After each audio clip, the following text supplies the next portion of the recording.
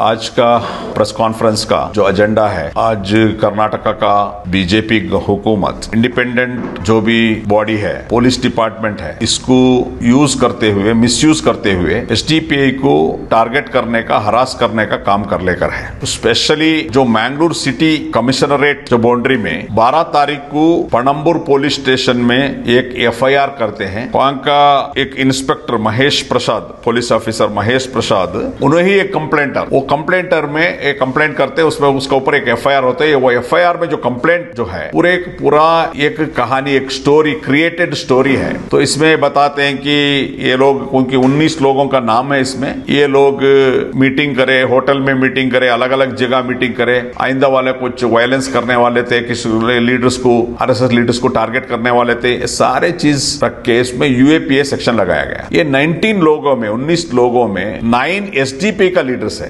SDP का district president STP का state committee member तो ये सारे एक कहानी है, ये बनाया हुआ स्टोरी है, उसमें कुछ भी नहीं है। इसको सिर्फ़ और सिर्फ़ इसमें पुलिस ऑफिसर कुछ पर्सनल बेनिफिट के लिए ये कर लेकर है कमिश्नर जो पुलिस कमिश्नर जो है उधर का मंगलोर का, कुछ पर्सनल गेन के लिए ये काम कर लेकर है ये एंटी कॉन्स्टिट्यूशनल है, इसको हम मजम्मत करते हैं कंडेम करते हैं। और जब इसका ऊपर हम, हमारे पार्टी के जिम्मेदार डीजीपी को मिले थे एडीजीपी को मिले थे एडीजीपी को क्लियर बताया कि क्योंकि social democratic party of India कुछ भी ऐसा करने के लिए हमारा डायरेक्शंस नहीं है। ऑलरेडी आपको मालूम है election commission of India election commissioner clear बताया कि एसडीपी और पॉपुलर फ्रंट को कोई कनेक्टिविटी नहीं है और 2010 से लेकर अब तक जो भी डॉक्यूमेंटेशन जो भी हिसाब किताब, जो इलेक्शन कमीशन को देना है इन बरब सही तरीके से दिए हैं। ये इलेक्शन कमीशन ऑफ़ इंडिया का एक बयान है। इसका बावजूद भी साउथ कैनरा यानी मैंगूर सिटी में ऐसा एक हरासमेंट हो रहा है हमारा ऑफ़िस के ऊपर सील डालने का ये सब, इसको हम कंडेम करते हैं और हम बीजेपी हुकूमत को एक बताते हैं कि आप जो है आइडियोलॉजिकली हमारे फेस करो।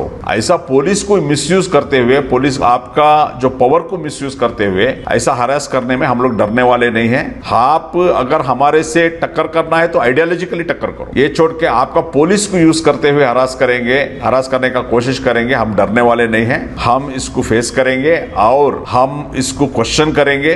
ये, ये जो भी एफआईआर है हम कानूनी कार्यवाही भी करेंगे। और दूसरा हम सारे पॉलिटिकल पार्टीज़ जितने भी political party secular political parties ऐसा एक पॉलिटिकल पार्टीज़ को टारगेट करने का ये जो मामला है इसको सारे मिलकर आवाज़ उठाना है। क्योंकि ये एक डेमोक्रेटिक सेटअप को एक थ्रेट है। अगर एक पॉलिटिकल पार्टी इंडिपेंडेंटली ये लोग काम करने नहीं देते हैं बोले तो क्या इस इस देश में डेमोक्रेसी है क्या? एक एक सर्वाधिकार जैसा एक रूलिंग एक अनडिक्लेयर्ड इमरजेंसी ऐसा है तो इसको हम कंडेम करते हैं और हम डीजीपी कर्नाटका को हम अपील करते हैं कि ये सारे मामला को तहकीकात होना चाहिए। इसको एक इंक्वायरी होना चाहिए कि ऐसा एक स्टोरी क्रिएट करके ये क्या करना, ये क्या करना चाहते हैं? उसमें एक 20 साल का एक लड़का जो हमारा डिस्ट्रिक्ट प्रेसिडेंट का बेटा, उनका भी इसमें फिक्स किया गया है। यूएपीए कुछ भी क्राइम नहीं हुआ। एक क्राइम नहीं हुआ, एक अजम्पन में करने वाले हैं, वो करने वाले हैं एजम्पन में। और एक कॉमन सेंस इन्होंने बताया कि पॉपुलर फ्रंट बैन होने के बाद भी ये लोग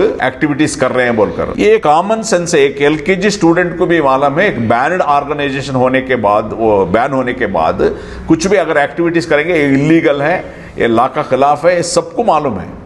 कोई ऐसा ज़रूरत नहीं करेगा बैन होके वन वीक में ये सब नहीं करेगा। तो इसलिए हम आपका माध्यम से सरकार को कहते हैं ऐसा आप डराने का कोशिश नहीं किए हम डरने वाले नहीं है हम इसको लीगली फाइट करेंगे। और दूसरा डीजीपी कर्नाटका को हम अपील करते हैं इसको एक तहकीकत होना चाहिए इसको इंक्वायरी होना चाहिए फ़ौरन इफ़ इस एफआईआर को खारिज करने का या इसको यूएपीए का कैंसिल करने का ये सारे जो भी कार्यवाही है और जो भी इसमें इनोसेंस है इसको आ, इस केस से छोड़ने का ये कार्रवाई करना चाहिए।